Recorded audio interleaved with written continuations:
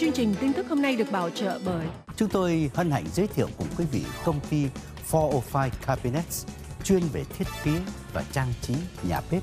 Chin và Kim Thu Chơi, nơi duy nhất bán vàng 4 số 9 có in hình bản đồ Việt Nam 714 985 9999 và 714 657 7866.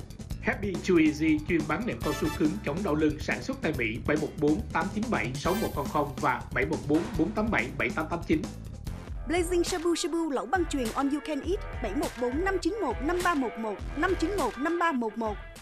Nature Medic Fukodan độc quyền kết hợp với AHCC góp phần tăng cao hiệu quả khi sử dụng. Vé về Việt Nam giá rẻ, gọi ngay Mango Tours 866 435 9746. Quán cá trên lầu chợ Sài Gòn 714 989 9911 hay vào website cá nướng da giòn.com.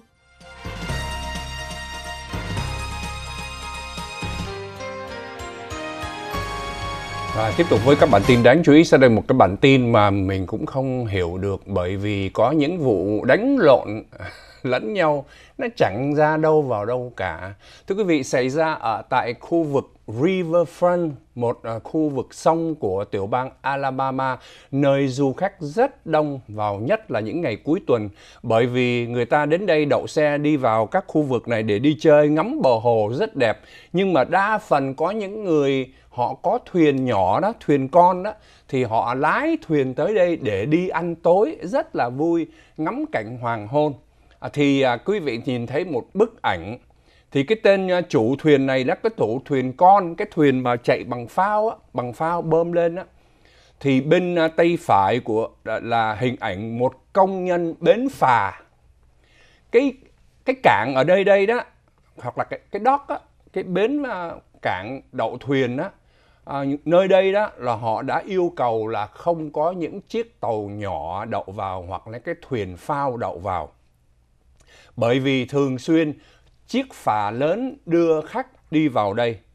Cho nên cái đây là người công nhân được thuê mướn để làm nhiệm vụ bảo đảm là cái phà đi vào có chỗ đậu.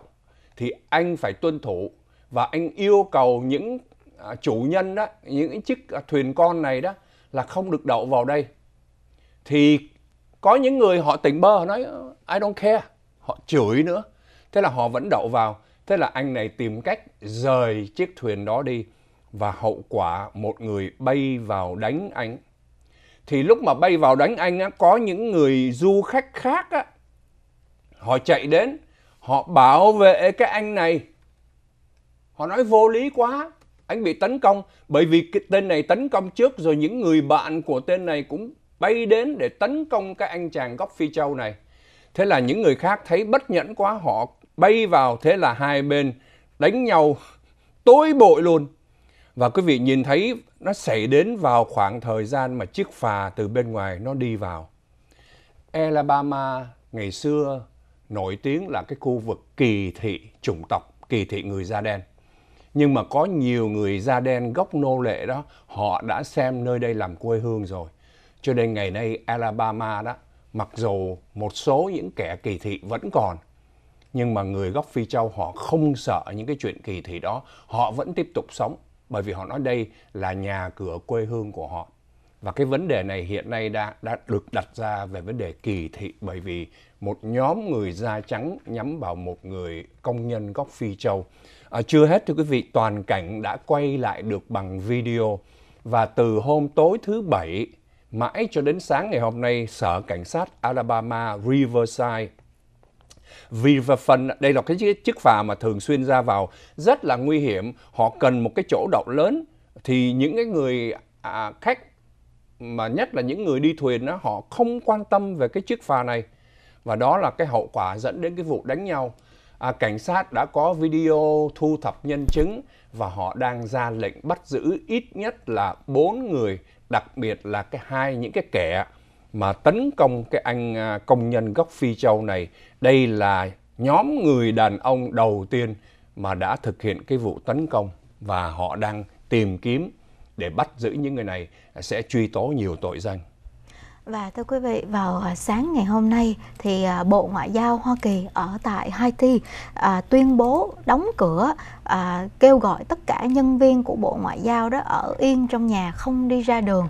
Và công dân Hoa Kỳ cũng không đi ra đường bởi vì cái tình trạng bạo loạn đã trở nên mất kiểm soát ở Haiti trong vòng 2 ngày vừa qua khi mà mấy ngàn người đó họ kéo xuống đường kéo về thủ đô để mà biểu tình. Thì cái lý do đó à, thưa quý vị người dân họ biểu tình là bởi vì họ kêu gọi à, quốc tế cũng như là liên hiệp quốc nhanh chóng đưa ra quyết định à, đến à, giống như là gửi lực lượng à, à bảo vệ à, hòa bình đó đến giúp đỡ cho cảnh sát ở Haiti. Tại vì cái quốc gia này đó đặc biệt là cái thủ đô đã bị bọn băng đảng à, nó chiếm quyền kiểm soát từ à, năm 2021 cho đến bây giờ. Thì kể từ khi mà ông tổng thống uh, của uh, Haiti là ông Moise bị ám sát năm 2021 đó thưa quý vị thì cả cái thủ đô đã bị uh, băng đảng chiếm quyền kiểm soát hơn 80% cảnh sát ở đây bây giờ không dám đi bắt băng đảng nữa mà giống như là bị đánh lùi luôn rồi. Và chúng thực hiện những cái vụ mà cướp bóc hãm hiếp bắt cóc rồi giết người diễn ra như cơm bữa người dân ở đây họ kể đó là, thứ nhất, bây giờ những người mà là người dân bình thường mỗi một ngày cần phải đi vào hãng xưởng làm việc hay là những người mở cửa tiệm buôn bán đó, không thể bước ra đường. Tại vì nhiều khi vừa bước ra đường là đạn bay ờ, chúng đạn lạc chết liền ngay lập tức. Con nít cũng không dám, cha mẹ không cho đi học. Tại vì cái tình trạng mà bị bắt cóc đó xảy ra quá nhiều từ tháng Giêng cho đến tháng 3 năm nay à, gần 2.000 người bị giết mỗi một ngày ở Haiti.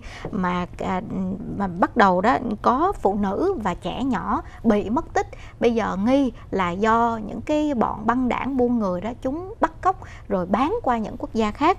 À, và chính phủ Haiti thì trong vòng mấy tháng vừa qua đó à, xin Hội đồng Bảo an Liên Hợp Quốc gửi lực lượng vũ trang đến để mà giúp cho cảnh sát ở đây chiếm quyền kiểm soát lại cái thủ đô. Thế nhưng ở phía Liên Hiệp Quốc thì à, cho đến đầu tuần này họ vẫn chưa có đưa ra quyết định cho nên nó mới dẫn đến cái chuyện mà mấy ngàn người họ kéo ra đường biểu tình để mà à, giống như là yêu cầu sự trợ giúp từ quốc tế để cho họ không bị mất mạng có thể quay trở lại cuộc sống à, bình thường mỗi một ngày nhưng mà mặc dù cái người kéo ra đường là người thường nhưng mà bạo loạn đã diễn ra coi như là họ cũng đập phá rồi bày tỏ sự tức giận của mình cho nên sợ là công dân Hoa Kỳ hay là những công dân của à, các nước châu Âu mà đi ngoài đường những người này họ bắt gặp đó có thể là họ à, đánh đập những người này. Ừ, trong thời gian qua tình hình Haiti rất là nhiều các vấn đề mà khổ nỗi à, người Haiti bây giờ cũng tìm cách xin tị nạn sang Mỹ rất là đông. À, trong khi đó ở tại Chicago thành phố được xem là bạo động và số người bắn chết hàng ngày nhất là những ngày cuối tuần đã tiếp tục diễn ra và trong số này sở cảnh sát Chicago ngày hôm nay rất đau buồn để loan tin một bé gái 9 tuổi em à, Medina Sebravi Serabi Medina 9 tuổi đã bị bắn chết từ một người hàng xóm. À, nội vụ xảy ra khi à, bố mẹ của Medina chở em đi ăn kem tối về.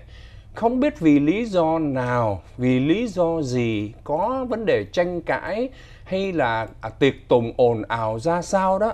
Một người đàn ông và hôm nay à, cảnh sát cho biết người tên này là Michael Goodman, 43 tuổi, là người hàng xóm trong khu vực. Bất ngờ cầm súng đi ra và chĩa vào gia đình của bé Medina để bắn. Thì trong lúc ông bố của bé Medina nhìn thấy đó, thì ông bay tới, ông tìm cách, ông ngăn chặn, thì súng nổ. Một viên đạn đã bay trúng vào em Medina khiến em chết tại chỗ. Và à, vụ hỗn loạn xảy ra thì cuối cùng thì đã khống chế được tay súng Michael Goodman. Nhưng mà bé đã chết trên đường được xe cứu thương đưa vào bệnh viện. À, ngày hôm qua thì à, những người hàng xóm rồi những người à, thân biết nhất là trong trường đã đến thực hiện một lễ tưởng niệm ngay trước cửa nhà. Và ngày hôm nay thì sở cảnh sát của Chicago chính thức truy tố tên Michael Goodman. Chúng tôi à, không có hình của tên này, cảnh sát chưa công bố hình ảnh. À, có thể là hắn bị à, thương trong lúc ẩu đả. Ông bố đã giúp à, không để xảy ra thêm các vụ nổ súng khác. À, nếu như mà không á, thì tay súng à, Michael Goodman này có thể bắn thêm nhiều người trong gia đình.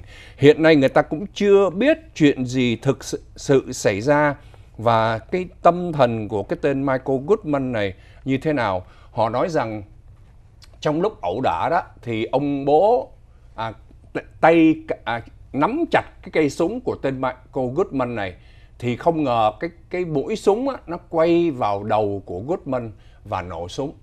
Cho nên uh, Goodman cầm cây súng nhưng mà chính cây súng này lại bắn vào người của mình.